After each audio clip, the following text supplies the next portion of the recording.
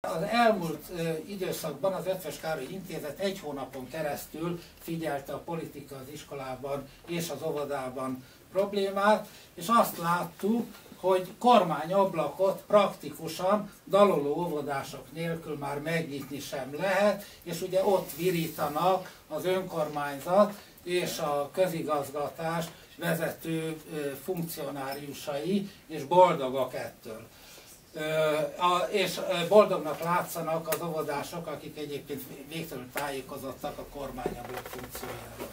A másik ugye, hogy, hogy aminek, hogy mondjam, hogy azt kell mondani, hogy habatortán, az a szennyvíz tisztító telepnek az óvodásokkal történő átadása, és az, hogy, hogy utcaszerte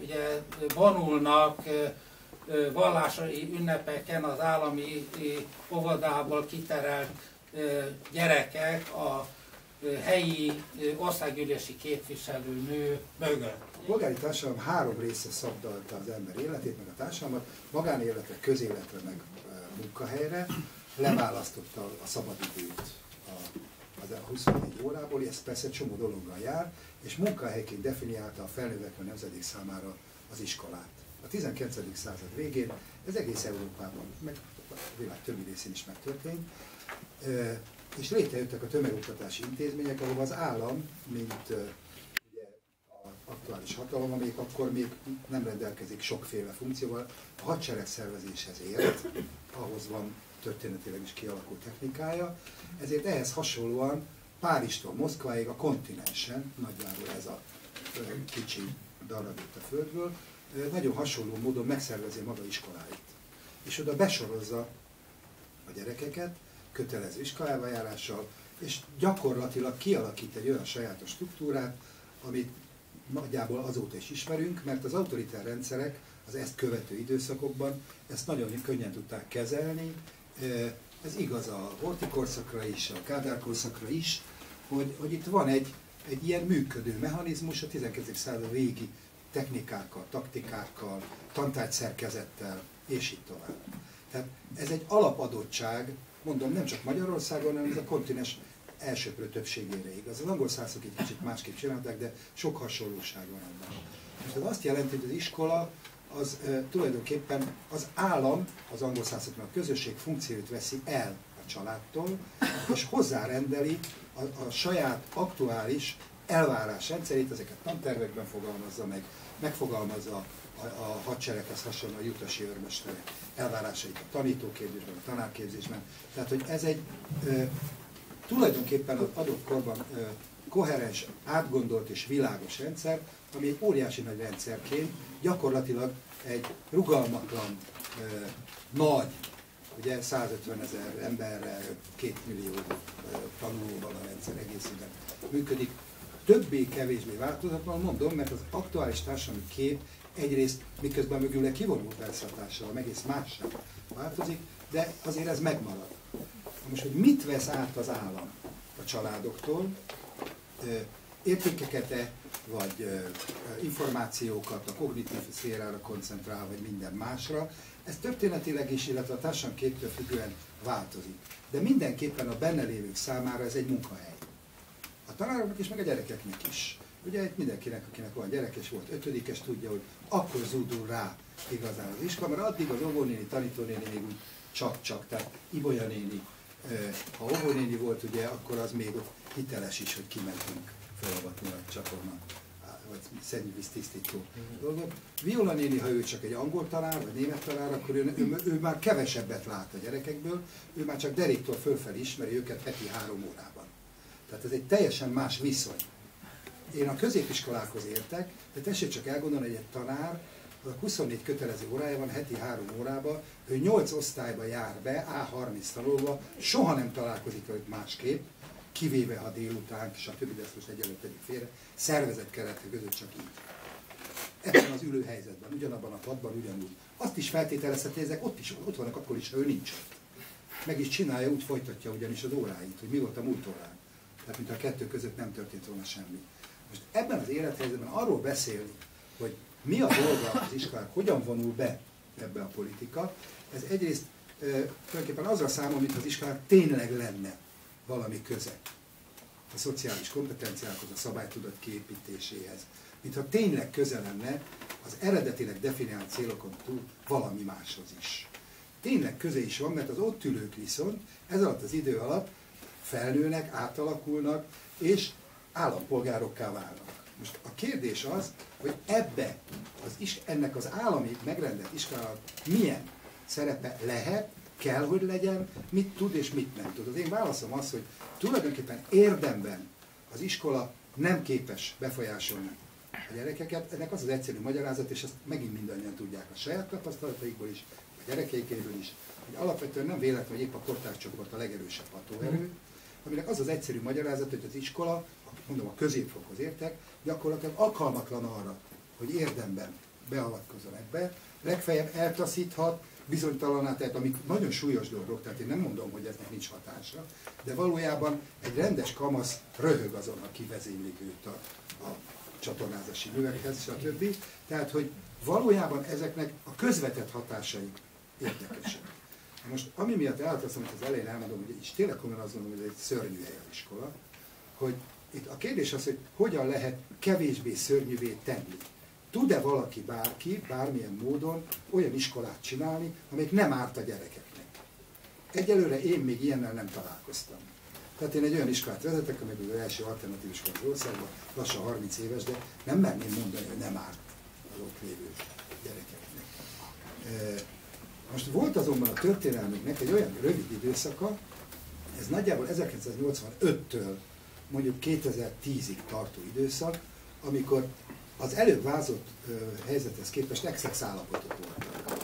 Nevezetesen az állam először akaratlanul, ez a Kádár utolsó évei, ugye, tehát egy exex állapotok jöttek létre, aztán később tudatosan, ugye önkormányzati rendszert hoztak létre 90, 93-as törvény definiálta a pedagógiai programalkotás jogát, az iskolai autonómiát, és így tovább, de főleg az önkormányzatiság, a helyi közösségekhez rendelte ezeket az iskolákat, akik elkezdtek beledumálni az iskola ügyeibe.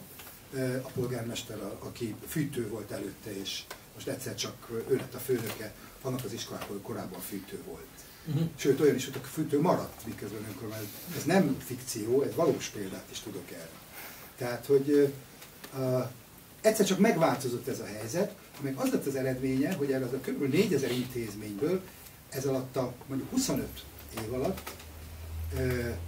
legalább 1500 úgy tűnik van erre, vannak erre adataim is, körülbelül ennyi volt, amelyik e, saját programmal kezdett rendelkezni. Tehát olyasmit csinált, amiről a bent lévők azt gondolták, hogy ez jó. Ennek mindenféle verziója előfordulhat, ahol megjelentek a, a nem csak egyes pedagógus szintjén a hiteles pedagógusok, hanem mint projekt, mint egy közösségnek, egy értelmiségi alkotó közösség a munkája. Ez egyrészt elképesztően magas arány, Másrészt azt is lássuk azért be, hogy a másik oldalon ott volt 2500 olyan intézmény ebből a 4000-ből, amelyek semmilyen elképzelése nem volt arról, hogy ő mit csináljon most, hogy szabaddá vált. Na most ez azt eredményez, egy-egy széthullott az iskolarendszer, szegregáció, de utána a szülők elkezdték kiválasztani. Tehát, hogy egy csomó iszonyatos problémát okozott, miközben itt egy radikális fordulatnak láttuk a, az esélyét, lehetőségeit, de közben egy csomó nagyon súlyos társadalmi problémát jelenített meg az iskola, sőt, élesített ki. Most erre 2010-re, és akkor ilyen hosszan válaszoltam az eredeti kérdésre, született egy olyan válasz, ami eddig történt, az nem volt. Tehát nem vita volt 2010-ben az új kormánynál, hogy akkor mi volt jó, mi volt nem jó, stb., hanem egy ilyen cezúra jelent meg, politikai megrendelésre tegyük hozzá, tehát ebben a szakmában semmilyen szó nem esett erről a kérdésről, hogy ami eddig történt, az nem volt, és ami ezután történik, az van jól. És az az van jól kifejezéssel megjelent egy egyébként előtte 150 évig változatlan állapotú irányzat. Tehát semmi el új jelen nem volt, ami ezt a több mint 2500 intézményt végre hátradőlhetett, hogy hát ez akkor most rend van. Most akkor, hiszen eddig az volt a baj, hogy nem tudtuk, hogy mit csináljunk. Ebben az 1500 intézményen belül pedig megváltoztak a belső erőviszonyok. Tehát, hogy itt is voltak nagyon sokan, akik ez bizonytalanságot okozott ez a változás, ez a, a környezetváltozás, hogy egyszer csak kiderült, hogy lehetne más dolga is az iskolának, például a politika. és ennek az lett a vége, hogy egyszerre az egész hálózatban egy bizonytalanság jelent meg. Ez nem azt jelenti, hogy ezek az iskolákban nem jelentek meg olyan elemek, amik a, a szociális kompetenciák, a szabálytudat, a jogtudat, a társadalmi demokrácia elmeit megőrizték. Egy csomó helyen projektek maradtak menne, hogy megváltozott az iskola belső működése. Nagyon sok helyen. De most ezek bizonytalanodtak el. Tehát gyors változások nincsenek az iskolában. Tehát nekem az a mondjuk egyrészt szakmai meggyőződésem, másrészt, ha nem is ilyen nagy átfogó kutatásra, de nagyon-nagyon nagy hálózattal vagyok napi kapcsolatban, hogy, hogy itt a, az előző tíz évhez képest mások változtak meg. Tehát, hogy magyarul felülkerekedett egyrészt egy, az akkor tíz évvel ezelőtt bizonytalan társadalmi pedagógus csoport iskolai intézményi rendszer, amelyikben egyszer csak megjelent az erős ideológiai öntudat, másrészt azoknál, ahol elindult az autonóm értelmiségi alkotás, ott pedig megerősödött a bizonytalanság. És ez rávetül az egyébként ebben ez alatt az idő alatt továbbra is felnövő 15, 16, 17 éves gyerekekre, tehát hogy közben akik 10 éve előtt iskolába jártak, azok most már ugye anyányi vagy apányi felnőtt élőlények. Azt gondolom, hogy aki ö, hosszú ideig ö, dolgozik, ö, vagy dolgozott pláne iskolába, az ö, ugye azért ilyen helyzetekkel találkozott, de ezek szerintem ö, inkább ö, visszataszítóak sem, mint olyan nagyon veszélyes jelenségek, mert én se gondolom azt, hogy azokat az óvodásokat, vagy akár még középiskolásokat is bármilyen hát olyan káros ideológiai behatás érni egy ilyen élménytől. Itt van is erre egy viszonylag jó történet, és hogyha egy kicsit pontatlan vagyok, akkor itt jó néhány történet tanár van, majd esetleg kiavít engem, hogy amikor 16. Lajos egyszer vidékre látogatott, és akkor hát ugye a helyi vezetők méltóképpen szerették volna fogadni őt, és hát a legszebb arcú kisfiút odaállították nagyon hasonló jelenetként az uralkodó elé, hogy ő köszöntse. És hát valóban is köszöntötte ez a fiatal ember, de azért nem lett olyan nagy királypárti, mert Robespierre volt ez a fiatal ember. Ez ott egy provokatív állítás, ami részéről, az, hogy az iskola árt általában a gyereknek, vagy én, ha interpretálhatom az állításodat, hogy, hogy többé-kevésbé árt. Na most ugye ezzel kapcsolatban ugye mindannyiunknak vannak ö, személyes élményeink, a, ö, ö, tanároknak is, meg valahogy diákoknak is, és szülőknek is, és ugye azért az is igaz, hogy, hogy most mondok egy példát, hogy van egy budapesti gimnázium, ahonnan X számú Nobel-díjas került ki. Ez statisztikailag lehetetlen, hogy merő véletlen legyen. Tehát vannak, mindig is voltak jó iskolák, ugye hát közben ugye ismerjük az Adi verset is, amelyik a te állításodat támasztja alá. A, tehát ugye van egy, itt van egy végtől izgalmas kérdés, amelyik úgy fogalmazható meg, hogy akármilyen is az iskola, úgy sem tud ártani a gyereknek, mert a gyerekre a saját kortárs csoportja elé egyéb behatások, ugye, vagy nagyon kis, szűk kisebbségre az olvasmány élményei, a kulturális élményei, illetőleg nyilván a családi közeg és, és ezernyi más dolog is hat. Vagyis Ugye van, van, ugye van két álláspont ebben, az én barátaim között nagyon sokan úgy gondolják, hogy ebből a rendszerből a gyerekeiket jó lenne kimenteni, és van olyan teoretikus is, aki ezt helyesli, és azt mondja, hogy a gyereknek az a jó, hogyha ebből a rendszerből kimentik őket, viszik mondjuk ilyen-olyan magániskolákba, mások pedig azt mondják, hogy sokkal jobb, hogyha megtalál, megtanulja, hogy milyen a való világ, ha, ha akár a diáktársai, akár az iskola részéről valamilyen negatív hatás éri, azt tanulja meg elviselni is. Most a napokban elég sok újsághír van arról, amely arról szól, hogy, hogy egyik iskolába egy feketebőrű diákot a diáktársai de facto üldöznek azzal a felkiáltással, hogy takarodj te bevándorló. Egy másik iskolában felmerült az a nem igazolt vád, hogy a menekülteknek készített pogácsába beleköptöttek esetleg a diákok. Itt ugye arról van szó, hogy közben erről ezt nem lehet tagadni, hosszú hónapok óta egy menekült ellenes állami kampány zajlik. Ennek volt egy szakasz, amikor óriás plakátok mentek, ö, ö, fizetett hirdetések, és hát ugye a határzár építése. Vajon, ö, ugye ez, ez, ennek nincs próbája, takarodj innen te menekült kiáltásnak, van-e kapcsolata azzal, hogy van egy külső hatás az állam hatása. Ehhez egyébként kapcsolódik egy ettől független probléma, az első alkotmánybíróságnak, a Solyom Alkotmánybíróságnak egy nagyon korai határozatában van egy szerintem nagyon fontos megállapítás, melyben azt mondja a Solyom Bíróság, hogy a világnézetileg elkötelezett családok gyerekeinek, illetve a világnézetileg vala, nyilván valamelyik felekezethez, elsősorban tartozó gyerekeknek, diákoknak sokkal kisebb tehertétel, nem is mondanék sérelmet, a világnézetileg nem elkötelezett iskolába járni, mint olyan világnézetileg elkötelezett iskolába járni adott esetben ezzel a világnézettel nem azonosuló diákoknak, akik nem jutnak el adott esetben a világnézetileg nem elkötelezett iskolába. Azt gondolom, hogy a két probléma között van valamiféle összefüggés, hogy tudni, mi van abban az esetben, lehet-e világnézetileg nem elkötelezett iskoláról beszélni olyan társadalmi körülmények között, amelyekben maga az állam is valamilyen világnézet elkötelezettje, illetve adott esetben ugye mi a saját szakmánkról beszélünk, az alkotmány vagy alaptörvény is ideológikus. Itt ugye ez egy nagyon izgalmas kérdés, hogy egy alkotmány mindig társadalmi értékeket képvisel, viszont ugye azt tartjuk, hogy soha nem ideológiákat. Azt gondolom, hogy tulajdonképpen eléggé elbonyolítottam a kérdést, de bizonyos vagyok abban, hogy azért a, a, hát, értelmezni fogjátok.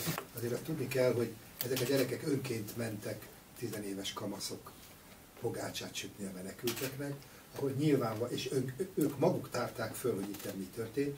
Ez én az én szememben nem jó példa erre, mert ez a 15-16 éves fiúgyermekek baromkodása, amit ők maguk akadályoztak meg a végén. Tehát, hogy már nem pont ők, Igen. hanem közülük mások. Igen. Tehát, hogy azért a dolog ennél összetettebb, azt, akinek gyereke van, tudja, hogy egyedül aranyos gyerek, az 15-16 éves korában csoportban eszelős baromságra képes. Tehát a, ki tud átmenni az autópályán futva, ez egyedül soha eszünkbe ne jutna. Ha öten vannak együtt, akkor ebből lesz lesz. Tehát, hogy ezek, ez azért életkorilag ez fontos hozzátenni, zárójelbe zárva.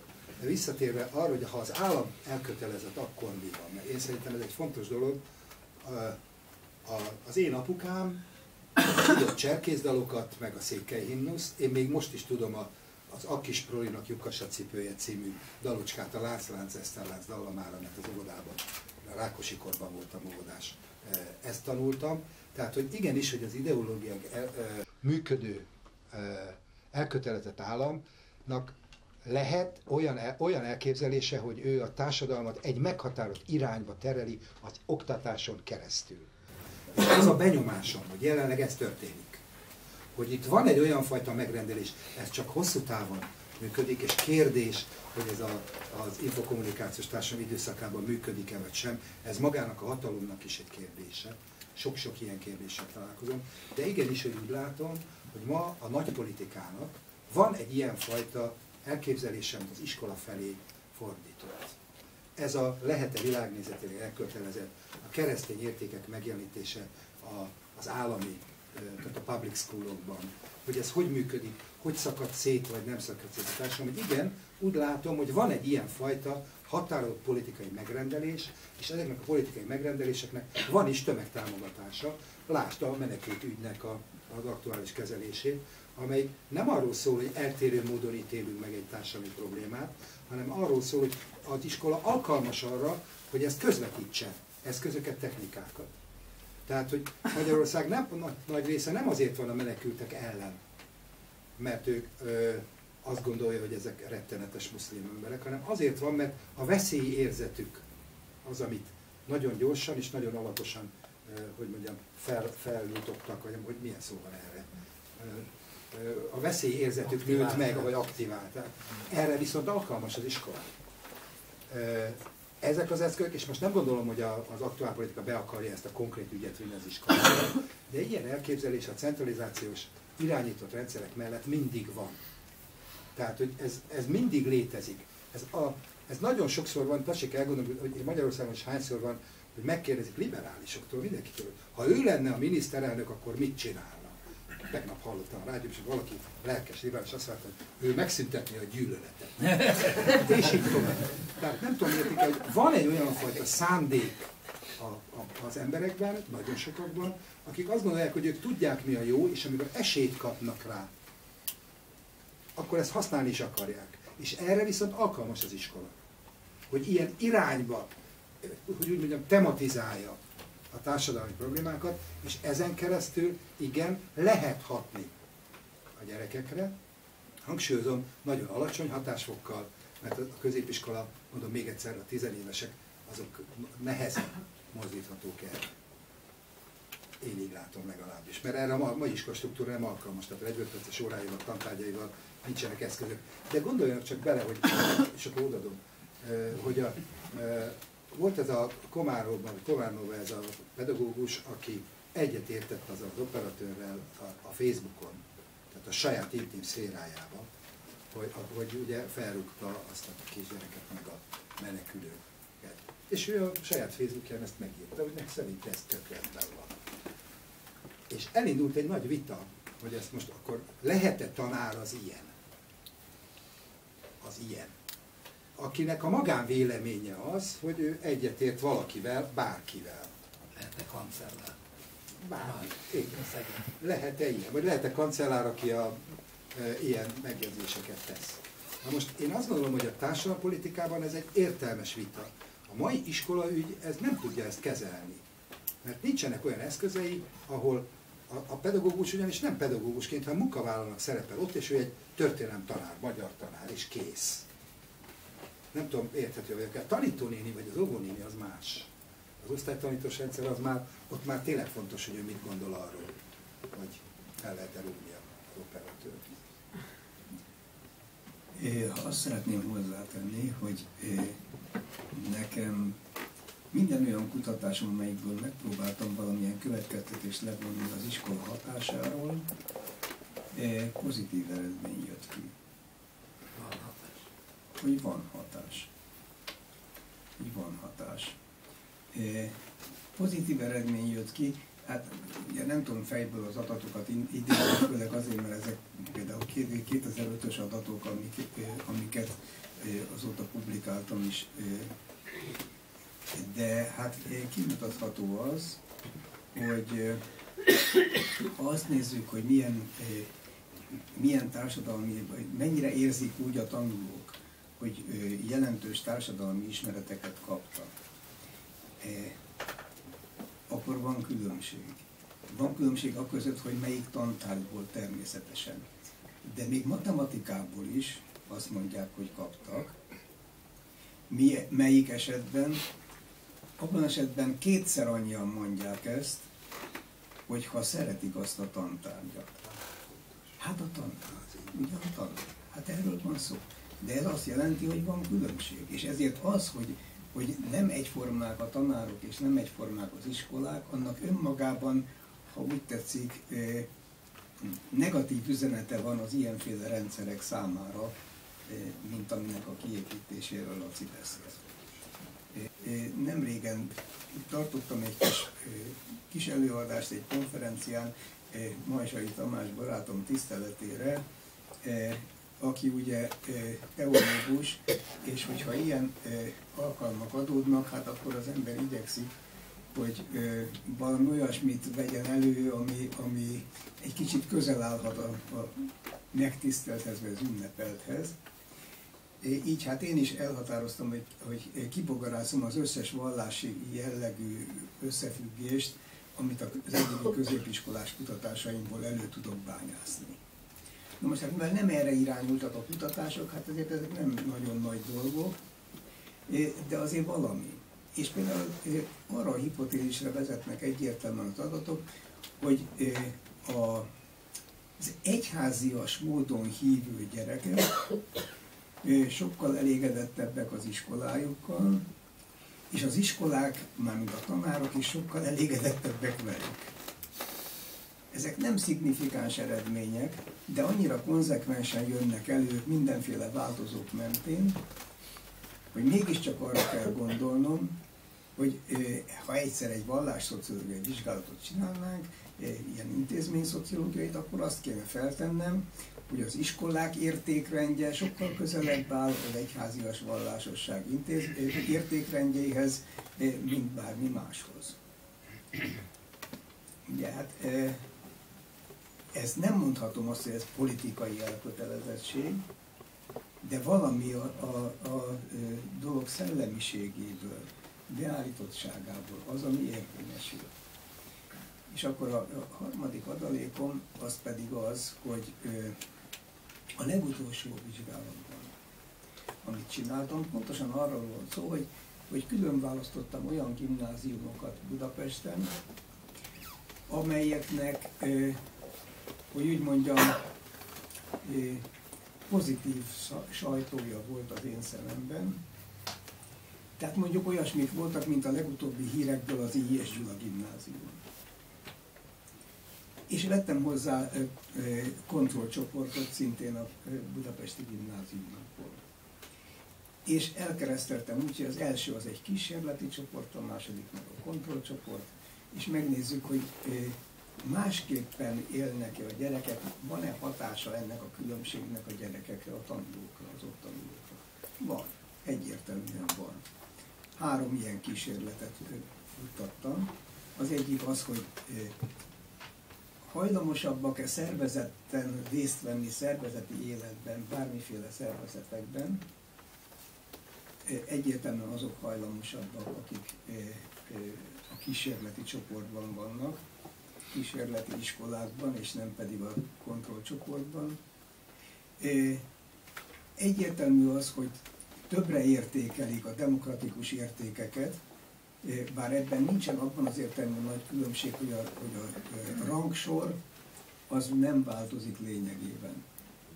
De a pontszámok azok egy, egyértelműen magasabbak a kísérleti csoportban. Hát a harmadik pedig egy értékvizsgálat, ami hát 40 dologgal való, de ez, ez egy bonyolult konstrukció, ebből pedig az jön ki, hogy a, az értékek területén a kísérleti iskolákban sokkal magasabb a szolidaritás érték, és, és furcsa módon a tekintély tisztelet egyértelműen kiugróan sokkal magasabb, mint a kontrolliskolákban, tehát a, a, a közönséges futottak még iskolákban, akik lehetnek nagyon jók, csak éppen nem kerültek bele az ilyen módon, hogy úgy mondjam, valamiféle cselekvést fölvállaló testületekkel rendelkező iskolákban. Ezt azt állítom, tehát igen, a tanároknak nagyon nagy felelősségük van, hatásuk van, és a gyerekek ezt lerelogálják. Mert azzal egyetértem, hogy mondott erről, hogy nyilván a kormányzatban lettek olyanok, akik nagyon ideológikus iskolát szeretnének, csak hogy egész egyszerűen az eszközrendszer az olyan, hogy ezt nem nagyon lehet megcsinálni. Tehát maga ugye azt tudjuk minden, hogy a klik úgy, ahogy van, nem működik, tehát nem úgy nem működik, mint ide, sehogy sem működik igazából, tehát, tehát, tehát nem tud. A ö, tartalmi szabályozók része mondom, az, az, az lényegileg, tehát ami a, a kulcskompetenciákat, azok ugyanazok, tanárok, mondom, tehát nem, nem mutatható ki, nem tudom, hogy lehet-e ilyen felmérés, és esetleg, de hát gondolom, hogy, hogy, hogy igazából összehasonlítás alap sem lehet arra, hogy mit tudom, ez a 150 ezer pedagógus 10 évvel ezelőtt milyen ideológiai preferenciákkal rendelkezett, és most én nem érzékel különbséget, és nyilván nehéz lenne ezt kimutatni. Azok, akik tanfelügyelők lettek, de kik, kikből lettek tanfelügyelők? Mindazokból egyébként, akik ö, mesterpedagógusok szerettek volna lenni, vagyis több fizetést szerettek volna kapni. És ez mindenféle ideológiai, meg, meg politikai preferencia nélkül. Voltak néhányan, akik tiltakoztak a rendszer ellen, és ezért demonstratív ebben nem léptek be. De ez nem jelenti azt, hogy a túlnyomó többségnek tehát hogy, hogy most például a tanfelügyeleti gárda, az a 3000 ember, az bármilyen értelemben is, ideológiailag vagy politikailag egyik oldal felé elkötelezett lenne. Tehát, hogy, hogy kormánykomisszárok mennének az iskolába, és ők végeznék ezt a munkát. Nem, mert ismerek sok embert ezek közül, ilyenek is, meg olyanok is, meg olyanok is. Tehát, hogy egész egyszerűen azt gondolom, hogy az eszközrendszer, tehát lehetnek ilyen szándékok, és ezt látnivaló, tehát ezt nem vitatom, de hogy az eszközrendszer az egész rendszer nem alkalmas arra, hogy ezek a ö, közoktatás mindennapjaiba átmenjenek, és hogy a, a gyerekekkel való, ö, tehát hogy, hogy, hogy ez a gyerekekkel való érintkezésben rendszeresen megjelenik. Nyilván vannak esetek, meg vannak kiugró esetek is, de hát az, hogy egy kisgyereket, aki más, az csúfolnak, ez ugye nyilván az ókor óta mindig van az iskolában, és hogy pontosan miért és hogyan, az meg mindig az adott ö, ö, szituáció, kulturális szituáció hozza. Tehát ö, mondjuk ö, ugye a, a, abban az iskolában, ahol mi nőttünk fel, az egy igazán ideológikus rendszer volt, de hát, de hát ott is ugye a, most egész lehetően itt ül a történet tanárom és az osztályfőnököm, ugye Poros András, és, és én például nem lennék ugyanaz az ember, hogyha nem ő tanított volna, és például arra 1970-es évek közepén mi az, hogy liberalizmus. Én ezt tőle tanultam meg. És nem lennék ugyanaz az ember, jó lehet, hogy te azt mondod, hogy rosszabb, vagy jobb ember lennék talán az iskola. Jó, tehát, hogy tehát azt gondolom, hogy, hogy nagyon lassú a rendszer, nagyon kevés eszköz van, tehát hogy, hogy, hogy, hogy nem, nincs okunk emiatt vészhalangokat kongatni. Sok minden ok lenne, de azt mondom, hogy ez, ez, ez kevésbé nem, nem tudom mennyire hány pedagógus itt, de aki tudja, hogy életkorilag a 15-18 év között van egy nagyon erős eh, elem, ez a sorbanállás. Kiáll a sor elején. Eh, ez a macsó pasi, meg a nője eh, van a sor elején, a legokosabb van a sor elején, a legjobb kosárlabdázó van a sor elején, és még sorolhatnám hányféle ilyen értékrend van. Egy iskolát az jellemez hosszú távon, ha úgy tetszik, a benne szereplőktől függetlenül, hogy milyen alapon jönnek létre ezek a sorrendek. Mi fogja a gyerekek közti sorrendet, a versenyt meghatározni. És ebben a hosszú távolságban a felnőttek is úgy csatlakoznak, hogy azok a tanáregyéniségek, akiről beszélünk, azok alakítják. De nem egyből, mert hogy az a tanár, nekem ugye én egy, ugye egy alternatív iskolát vezetek, ahol azt remélem, hogy azért jól érzik magukat a gyerekek, meg tanulnak, stb. De hogy oda jött egyébként ismert történelemtalán kollégám, még 20 évvel ezelőtt, és azzal kezdte, hogy neki az a baja, hogy ő eddig ő különleges volt az előző gimnáziumában, mert leült a gyerekek közé. És ottan együtt beszélnek. De itt ő most mit csináljon, mert itt mindenki a gyerekek között ül, még szőnyegpadó is van, hogy akkor most ő most mit csináljon?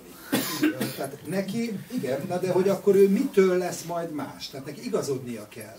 Ezek nagyon fontos dolgok, tehát én csak azt próbáltam elmondani, én a tanárok védelmében beszélek, hogy értsék meg, 24 órában a heti 3 órás tárgyat nem lehet normál menetben másképp csinálni, csak tantárgyat lehet tanítani, és nem gyerekeket. Mert nincs más verzió. És ebben kell az adott közegnek megtalálni azt a mechanizmust. Azzal is egyetértek, amit az Andris mondta, hogy, hogy e, szerencsére iszonyatosan alacsony hatékonysággal működik ez az egész, e, és hogy ez, ez sose lesz ennél jobb, ezért abszolút egyetértek.